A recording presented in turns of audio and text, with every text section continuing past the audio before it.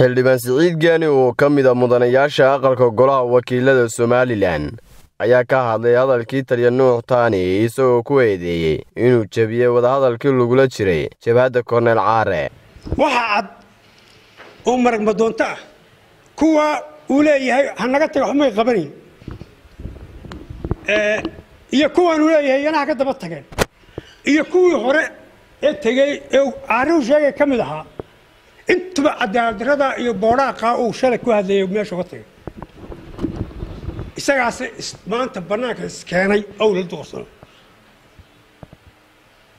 waxaa caddaatay inaan qarankan wax dibindaabyo ku ah oo xukuumadda haysta waxaan ahayn aani jirin cidda keliya dibindaabyada ku ah qarankan inay tahay xukuumadda haysata shacabku maanta wuu ka dheeragsan yahay. Been dambena loo sheegi maayo in xukuumadda maanta haysata ay tahay khatarta ku ah ee dibindaabada ku haysta qarankan haddaan dib ugu noqdo taariikhdii kulmiya. Markay mucaaradka ahaayeen uma tulin qarankii jiray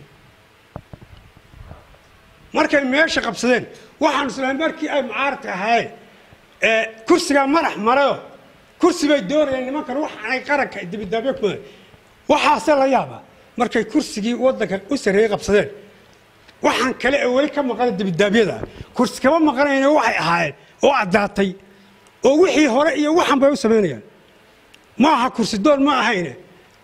Waxay ahaayeen nimanka meesha fadhiyaa hadda.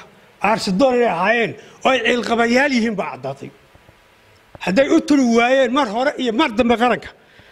Marka ciilqabnimana qaran ma ogayo ciilqabayaashii ay ciilqabaan war haddaad cidis hayseen waxaas hayseen dhinte agoomihii baa hadhay iyo shacabkii ma ragga akhri jiray? U ciilqaba oo la dagaalamiya la dagaalamaya goosanaya waanu yaabannahay mise somalilan dhismaheedaa ku dhiba iyo qarannimadeeda waxaan xusuustaa xilligii ay mucaaradka ahaayeen kulmiya nimankaa meesha haystay madaxweynaha iyo wasiirkiisa arrimaha gudaha iyo kuwaasi nimankii ugu afxumaa bay ahaayeen xukuumadda taarigan dhegad baanu kaga saaraynaa ha naga soo baxo cashuurta joojiya yaanala aqoonsan wax aanay ku hadlin ma jiro. Intaas oo dhan baa lagala xishooday mar kursiga qabsadeen ilaa maanta oo aan la odhan waxay ka qaadeen. Durduray ka sii qaadeen mucaarad ma jiro markii waxay ku hadli jireen lagu hadli jiray. Waxa uu ku tibaaxay ku dhawaaqay wasiirkiisa arrimaha guduhu mucaarad baan jirin. Isagoo dhanka kalena ku tilmaamay taliya nuux taani inuu ku hadlayey afka madaxweynaha islamarkaana aanu haba yaraatee ka hadli karin madaxweyne biixi.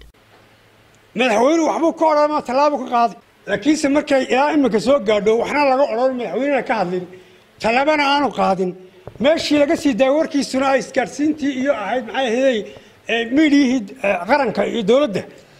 Macnaheedu waxay tahay afkii madaxweyne ku hadlay